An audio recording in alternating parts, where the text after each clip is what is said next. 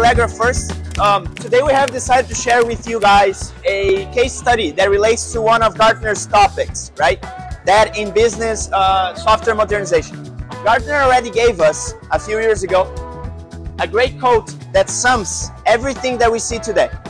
By 2024-25, technical debt will continue to compound on top of existing technical debt, consuming more than 40% of the current IT budget.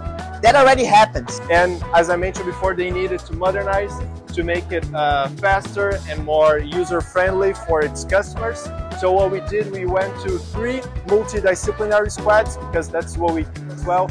You not only uh, we have the developers and the engineering, we also have the UX researchers, UX designers, and the business researchers to compound a unique solution for console hardware. We're kind of an expert when it comes to uh, having cost optimization using cloud. So we have partnerships with AWS, GCP, Oracle, and so on. And big companies usually tend to have a bunch of different digital products. And that means that not only they have a bunch of different digital products, they also have different dev teams. So this is actually what Gartner has been talking about platform ops. Uh, the goal of Platform Ops is actually to achieve efficiency and economies of scale using a DevOps environment.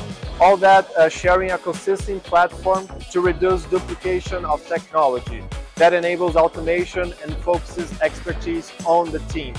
So that basically, it's not uh, uh, just an insight that we've been seeing with the industry, but also Gartner has been uh, telling us that uh, for now two years. And what we did was we created that automation by using a multidisciplinary team working close together with the business team to uh, reduce the cost of what Dexco was uh, expanding on platforms and infrastructure and dev teams because they have a pretty strong online presence and digital products. They really needed that so we went there and we gave them a lot of uh, cost reduction.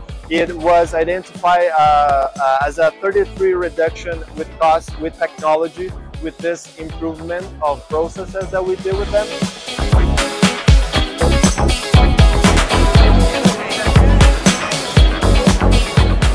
Braskem is the only integrated petrochemical firm in Brazil and the world that produces both first and second generation thermoplastic resins.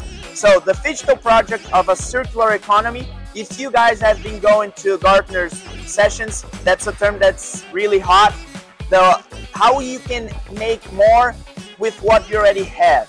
The first packaging development center for circular economy in Brazil that has a fit of digital presence and a portal that relates and delivers whatever the client needs to get to be a part of that environment and bring Braskem a different source of revenue, penetration in the market, and the positioning that Braskem is the only one in Brazil that can provide both the experience and the products that come at the end of the chain.